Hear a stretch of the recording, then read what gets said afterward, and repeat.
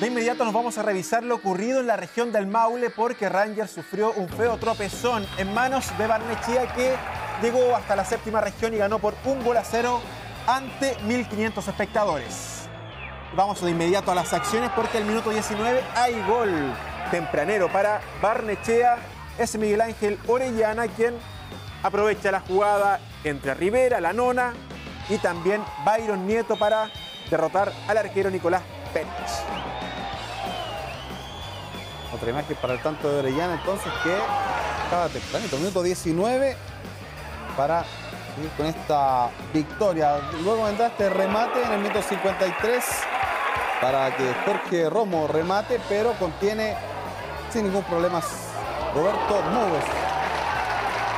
Y finalmente, ya cuando va a terminar el partido, minuto 91, Pessoa para Pavés, la pica y el antebrazo de Camilo Rencoreta aparece de por medio. El juez Quila de todas formas desestimó la acción, pese a los reclamos talquinos. Ahí están los reclamos entonces.